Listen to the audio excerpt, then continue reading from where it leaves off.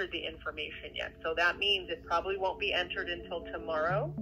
Okay. And then it probably won't be reviewed until the beginning of next week because they don't count the day that it's received. Okay. So even that's for urgent authorizations. That's what they said. So we have to look for another surgery date. I mean, but again, your insurance probably they have they won't even start processing until next week. Okay. So, So I'll have another surgery sometime in the future. Right, yeah. So we're just gonna look for a new surgery date, and then we of course we have to let them know, you know, what the new date is and things like that. So once we get an approval, then we're good with the date. But I, yeah, I'm sorry. So that that's just the way the insurance is. We said admitted it urgently, but they don't even count the day. And when we can't, we called even just to see did you guys at least start the process, and they said they hadn't even entered the information yet. So. Okay. Well, thank you for letting me know. Okay, sorry about that. So hopefully I'm going to be working with Dr.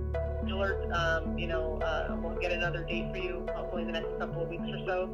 As soon as we can, obviously. Doctor wants to do it sooner rather than later. So we'll see what we can do as far as that and then, you know, uh, just get on the insurance company. So they should have the information by Monday. So I should think by Monday we can let them know, hey, we didn't do it this day because for whatever reason you guys weren't ready.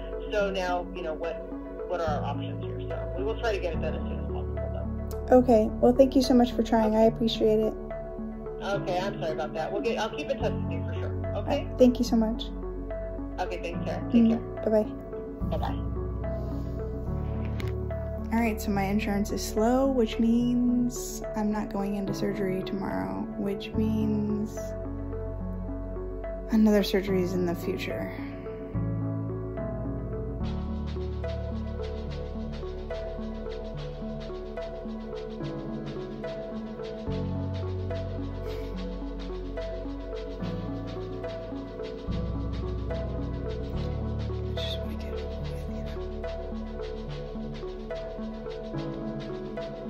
Thank you.